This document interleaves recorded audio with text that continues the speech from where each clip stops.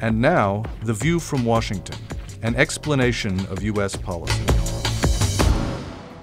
In December, the United Nations General Assembly adopted a resolution expressing deep concern at serious, ongoing, and recurring human rights violations in the Islamic Republic of Iran.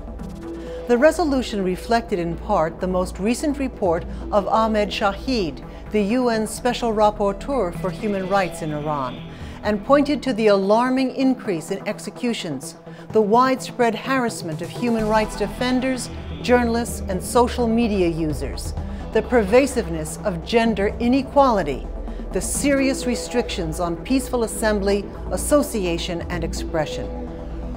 At the release of his report, Mr. Shaheed also described the persecution of religious minorities, 500 of whom are reportedly in prison.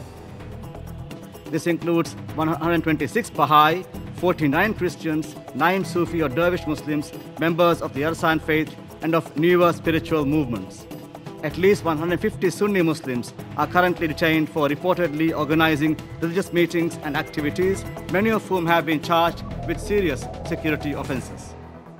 The resolution on Iran was adopted a week after the United Nations celebrated Human Rights Day, December 10th in honor of the adoption of the Universal Declaration of Human Rights in 1948, to which Iran is a party.